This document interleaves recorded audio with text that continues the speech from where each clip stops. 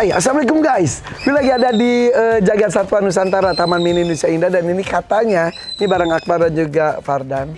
Katanya ada kabar gembira. Makanya ini luar biasa, ini sebuah pencapaian untuk lembaga konservasi. Ya. Kalau bisa mengembangbiakan satwanya, apalagi satwanya itu yang sangat langka, susah ditangkarkan dan bisa berkembang biak di sebuah penangkaran itu luar biasa ya. Luar biasa. Aduh, ini dan ini eksklusif banget buat The Hakims ya karena Yes. ini tadi juga ada ke, masuk ke area ini aja tidak sembarangan orang dan kita masuk ke area penangkarannya. Betul. Jadi apa ini? Ada apa Apakah ini? jackpotnya Oke, jackpotnya adalah Dadade.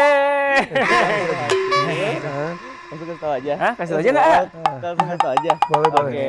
Kita Ya udah ke sana. Nanti tunggu dulu, tunggu dulu guys. Tunggu dulu, tunggu dulu. Yuk kita masuk dulu. Nah, masuknya. Tap dulu tap. Iya.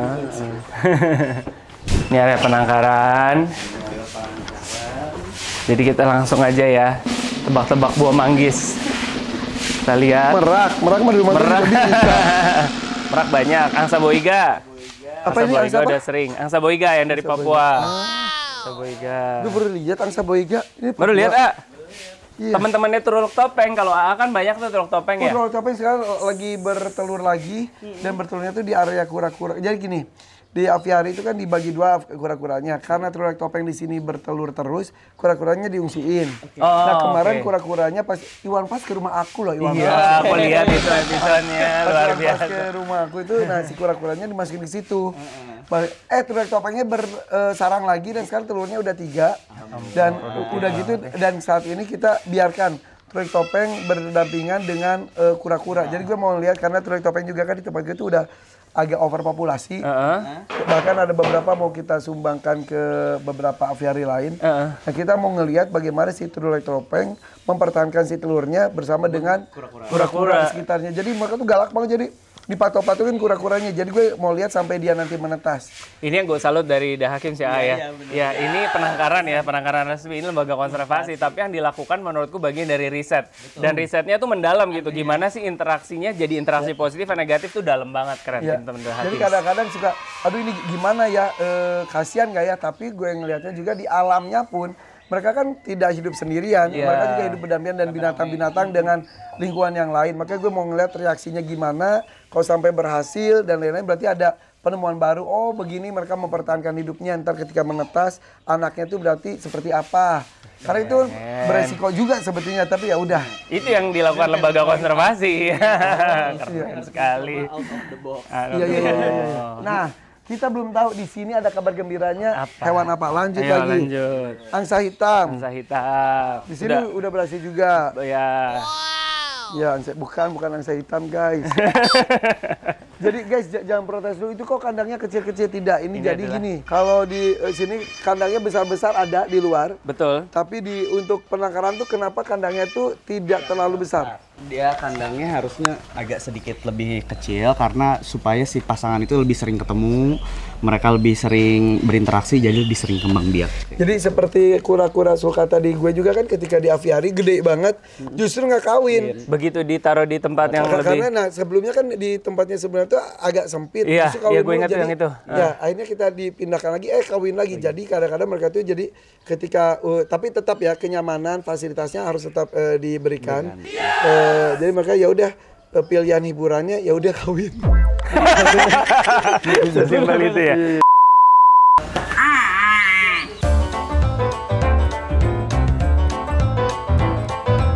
Selamat pagi.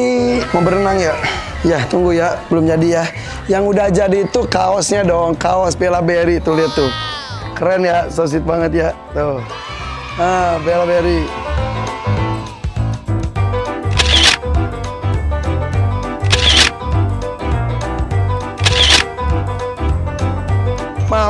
Tahu dong caranya. Giveaway boleh. Tapi kalau mau pengen itu ah pengen dapetinnya beli ya udah deh. Cari informasinya di e-commerce gue di IG ataupun TikTok. Oke? Sip. Thank you. Ini dia kaos Bella Berry.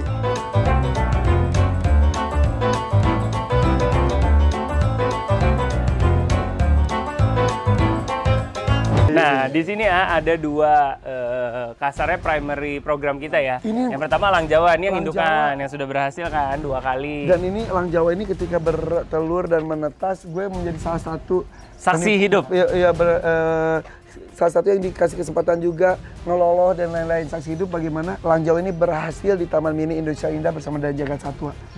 Tuh lihat pejantan yang kiri, kanan yang lebih besar betinanya. Bedanya nah, lebih kecil. ah, Yang jantan. yang jantan, betina lebih besar. Jadi di dunia raptor eh, betina itu lebih besar. yes.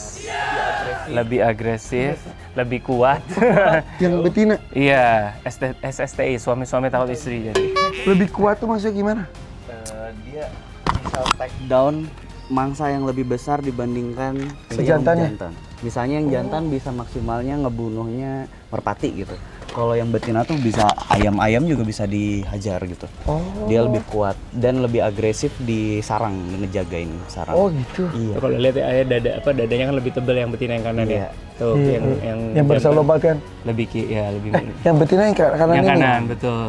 Oh ya dan mungkin karena dia juga ada eh, buat eh, tempat telurnya juga mungkin. ya.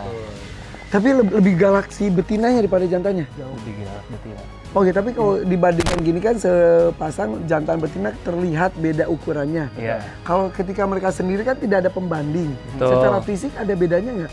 Kalau secara fisiknya ah, yang paling mudah dilihat ya. Kalau elang itu kakinya. Jadi kalau kakinya dia tebal tulangnya, tulang kakinya tebal sama paruhnya lebih panjang, Menukik, eh? lebih panjang dibanding itu dia pasti betina. Oh. Kayak gitu perbandingannya sama Paruh ekor- lebih panjang ya, Bang? Iya, Oh, sama iya, iya. ekornya kalau yang betina lebih oval, kalau yang jantan lebih lurus. Lebih Oke. lurus kayak gitu. Hmm, Walaupun ujung-ujungnya memastikan 100% dengan tes DNA, DNA, ya, Bar, ya. Iya, iya, iya, Baik iya, dari darah maupun pakai Ya. bulunya. Karena sekilas eh, dari warna dari itu tuh sama ya. Mirip, iya. Iya, tapi secara se- Nah itu kayak kayak paruh gitu juga kan harus ada pembanding juga. Benar, Ini betul. beruntung ada jantan betina jadi bisa terlihat kayak paruhnya yang satu lebih menukik, ekornya lebih oval dan lain-lain. Itu betina, ini jantan. Jadi sudah bertelur lagi katanya. Ini yang ini eh, tahun ini sepertinya masih belum, ah, tapi dia sudah sempat bangun sarang berapa kali. Sarangnya di mana sih? Di atas kan? Nah, itu sarangnya. Oh, disiapin Sempat gini. bangun sarang, tapi sama dia kemarin sempat dilepas lagi. Mungkin kayaknya belum ketemu suhu sama belum temu nyamannya ya, karena dia baru satu tahun di sini. Ya, ini kan Oh, kandang baru nih, ah. Kalau ingat dulu kan kita pakai kandang yang dalam aviary. Iya, iya, iya, iya. Jadi penyesuaian kandang baru. Nah, justru yang kita mau kasih lihat surprise, kandang baru tapi udah Jadi. jadi. Bukan nih, ini jadinya. Bukan. Kabar gembira ini. Tapi ada hubungannya dengan elang-elangan. Yes pasti. Oke, oke, oke. Tapi spesial apa? Apakah elang ini jarang sebelum kita liatin? Ini elangnya sangat eksklusif karena di Indonesia itu belum ada yang ngembang biakin. Bahkan di dunia pun kita mencari jurnalnya sangat sedikit. Yang itu pun mereka hanya baru berhasil menelurkan, yaitu di Sri Lanka. Nah di dunia ini saya rasa belum ada ya pak ya. Belum ada. Belum ada. Di penangkaran. Di penangkaran. Jadi ini elangnya bukan elang Indonesia. elang Indonesia. Keren. Elang Indonesia, tapi udah ada di beberapa negara tetangga. dia ada di negara tapi di mana pun di, eh, di penangkaran belum ada yang berhasil sampai menetaskan karena Betul. sekali lagi di awal kan gue ngomong bahwa keberhasilan sebuah penangkaran atau lembaga konservasi adalah ketika bisa mengembang biakan. Elang apa? Coba maju ya, lagi. Bar. Ayo, maju, maju. Bismillahirrahmanirrahim.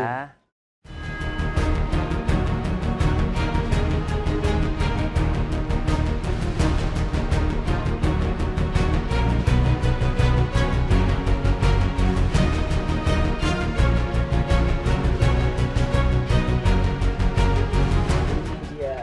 Silakan. kepala abu. Elang ikan kepala abu.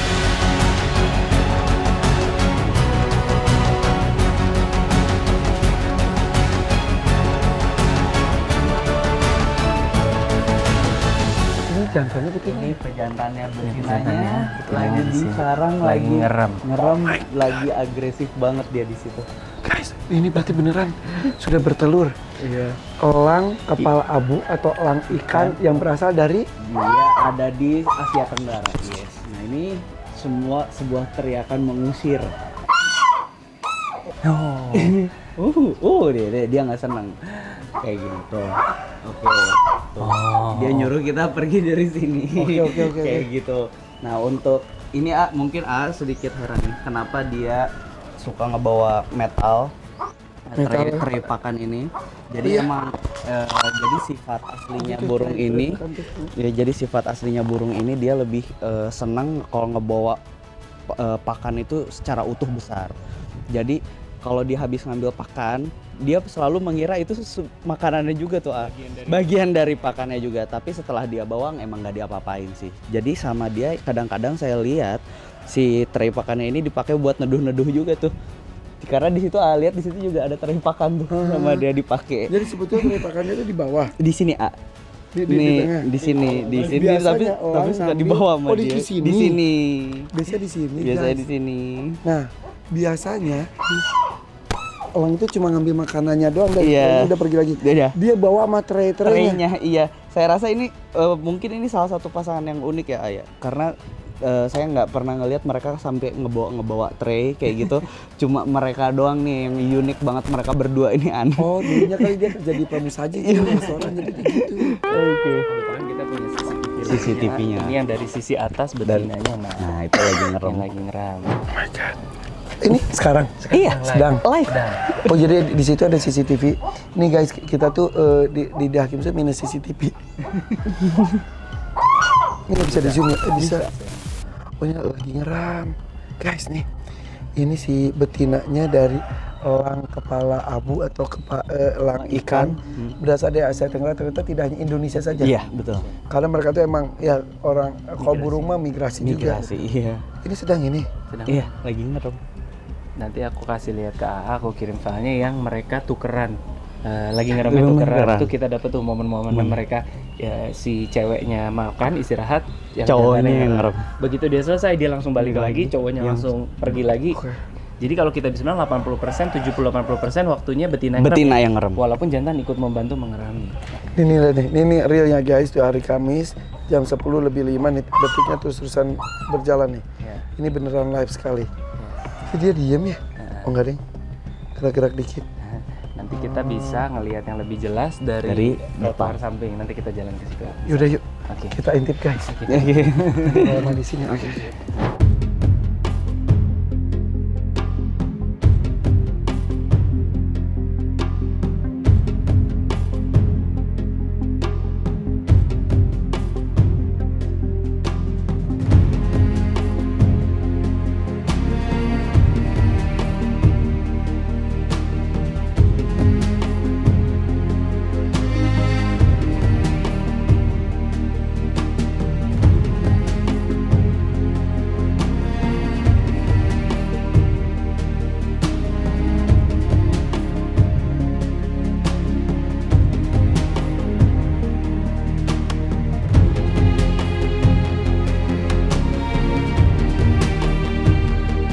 guys, sebelum kita lihat arah luar dari sarang elang tadi, Betul. kita lihat dulu nih katanya kan tiga butir. Tiga butir, dua butir yang kita masukin inkubator, yang terakhir nelor kita biarkan sama induknya di rami. Jadi biar ada eh, opportunity-nya biar 50-50 gitu. Jadi ini di mana-mana secara data belum pernah ada yang berhasil Belum pernah ada yang berhasil. menangkarkan dan juga membuat eh, si elang tersebut bertelur. Ada sampai bertelur tapi sam- nggak sampai menetas.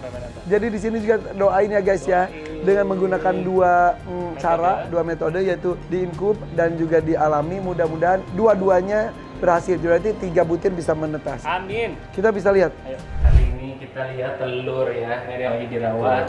Ada Buffy yang lagi luka ya. Iya. Sama telurnya, tuh telurnya. Jadi- Gede banget. Gede ya?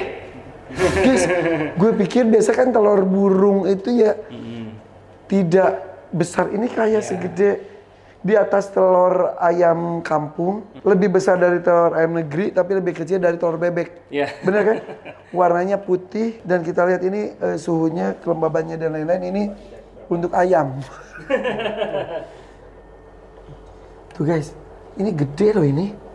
Ini ada tanggalnya juga jam setengah dua eh, menetasnya Juni ya Rencananya. Eh, enggak, itu Juni baru baru Iya. na- na- nelurnya. nelurnya. Baru ditaruh. Ini eh, berapa lama Nah, biasanya? Karena belum ada karena belum ada eh, tulisan yang bisa Oh, iya. valid kan. Iya, iya. Jadi ini semua masih tanda tanya besar. Kalau lang-lang laut tuh rata-rata 35 sampai 45 hari. hari gitu. Nah, jadi makanya kita tunggu aja kalau ini eh, apakah nanti lewat atau kurang atau pas kita bisa tunggu gitu. Gitu intinya ini kita udah, masih tunggu. udah sebulan dong ini Udah sebenarnya. sebulan. Udah sebulan. Makanya itu yang kita tadi saya bilang kenapa kita ada pengenaman secara manual eh secara apa namanya natural dan inkubator. Mudah-mudahan minimal salah satunya berhasil. Mudah-mudahan. Jadi Entah dilihat kalau yang dialami menetas berarti ini yang ini gagal. Gagal. Nah, eh, itu teorinya. karena secara eh, waktunya ya. secara waktu yang ini duluan. Jadi kalau yang di sana menetas berarti ini gagal. Yang sana tuh udah berapa hari 40 42-an. Berarti ini kalau secara teori dari jenis elang yang lain, elang laut Yes. yang sudah banyak eh, datanya referensinya, Seperti bald eagle. ya Nah, betul. itu ini segitu juga harinya. 32 sampai 45 hari. Berarti ini tinggal nunggu beberapa hari ke depan, guys. betul. Mudah-mudahan ada kabar gembira lagi bisa dikabarkan oleh Jaga Satwa Nusantara. Benar-benar nggak tahu karena kan kayak A tahu ya, A udah sering juga pasti netasin beberapa jenis ya A ya. Ya. Puterannya, durasi puteran itu penting. Ya ini, eh, nah eh, kalau gue ini merak yang pakai inkubator gini. Oh, merak, betul. merak, merak itu merak berhasil hampir 100% sih pada menetas semuanya. Hmm. Pakai inkubator dan memang inkubator khusus seperti ini. Ini nggak ada yang buat elang ya? nggak ada saking nggak adanya jadi kita nyari referensi kita cari yang paling mirip kan bisa di set manual juga kan Iya. gitu. Tapi memang dari dua minggu tiga minggu kita pakein lampu candling itu growing. Kan makin lama dia makin nutup tuh makin gelap makin gelap gitu. Terus ada apa namanya ada aliran darah blood vesselnya juga kelihatan gitu. Kita sempat ngedengar det- detaknya juga ya sempat pernah Oh ada berarti detaknya juga, secara gitu. teori hidup. hidup tapi apakah sampai menetas? Kita nggak tahu. Karena aku baca-baca referensi juga. Yang susah adalah ketika dia menetas kan dia harus berusaha sendiri.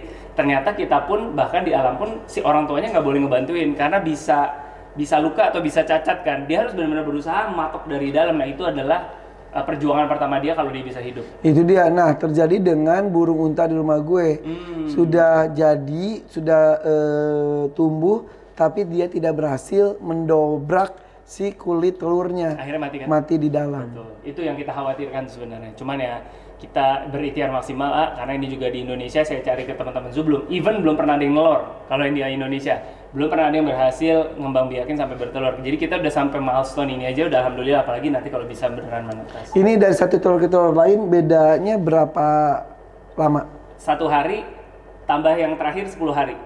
Lucu Kok beda? itu dia. Jadi kemarin kita bahas nih kita punya grup eh, konservasi kan.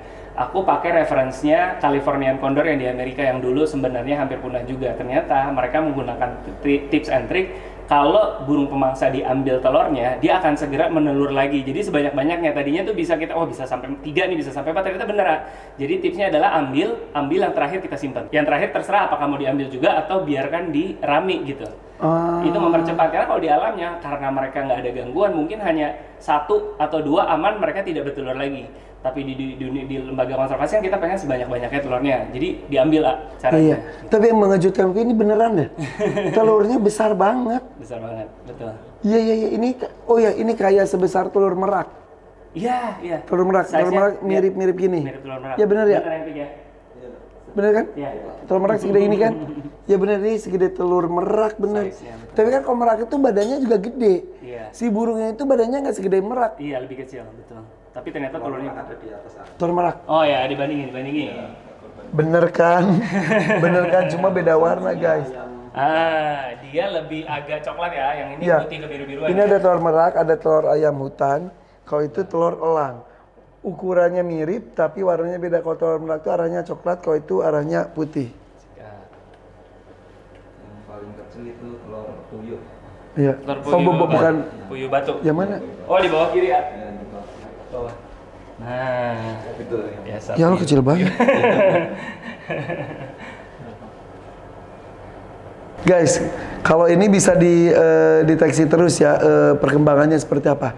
Tapi kalau yang dialami ya udah kita tinggal berdoa saja. Tinggal berdoa saja. Tapi kalau melihat indukannya terus-terusan mengeram sih kemungkinan kan dia suka punya insting dan feeling ya. Betul. Kemungkinan sih mudah-mudahan berhasil sampai menetas.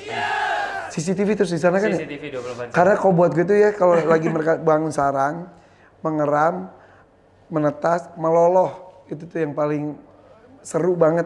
Iya, kita ngeliatnya juga, aduh ada dokumentasi itu jadi banyak kenang-kenangan ya. ya. Ya, ya. Oke, Kita lihat. yuk let's go. Kita ke eh, sarang secara alaminya. Oke guys, kita menuju ke balik kandang eh, elangnya melihat sedikit lebih dekat dengan eh, si sarangnya itu ya. Yes, ini dia. Nih, kelihatan, udah mulai kelihatan dari sini. Iya. Itu kan, ah guys, guys kelihatan guys. Kelihatan kan? Oh my god, Nah, aduh, tuh. ini nih, ini orang-orang pada tahu nggak sih sini? Mudah-mudahan nggak tahu. Karena kita rencananya mau lebih nutupin takut stres, A. Kita mau nambahin nih. Takutnya dia jadi stres. Jadi kita udah deh. Yang penting kita maksimalin. Mudah-mudahan nggak ada tangan-tangan iseng. Tapi nih Guys, kelihatan. sini, sini, cepat kelihatan kelihatan tuh. tuh, tuh, tuh, tuh, tuh. Ya, nunduk lagi. Tadi si si betinanya gini, terus ngeliat kita dia langsung ngumpet.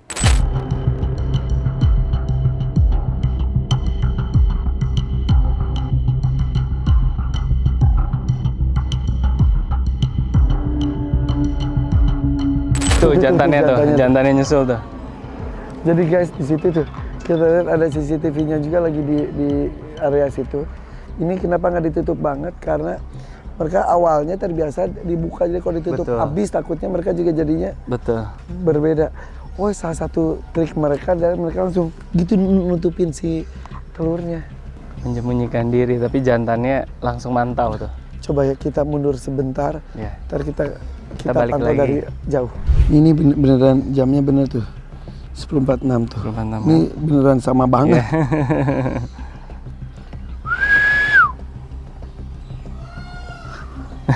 Meraknya A.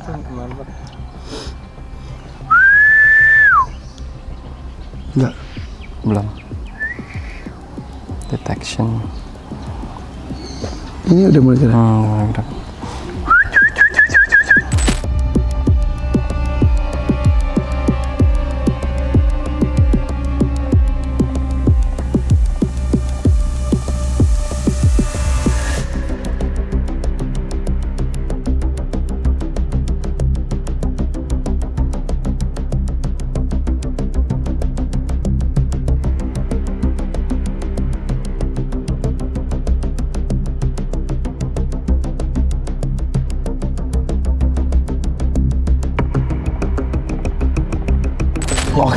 Masih dilihat. kita tinggalkan mereka yang sedang mengeram guys. Biarkan dan kita doakan saja ya guys ya. Mudah-mudahan beberapa hari ke depan kita akan ada kabar terbaiknya. Nanti kita liputan lagi ke sini ya. Tunggu kabar terbaik lagi dari Jaga Satwa Nusantara Taman Mini Indonesia Indah. Udah pernah ke sini belum? Kalau belum, aduh kebangetan datang sini ya. Follow IG-nya juga Jaga Satwa Nusantara. Thank you Padang. Thank you. Bye bye. Assalamualaikum. Assalamualaikum. Cus go.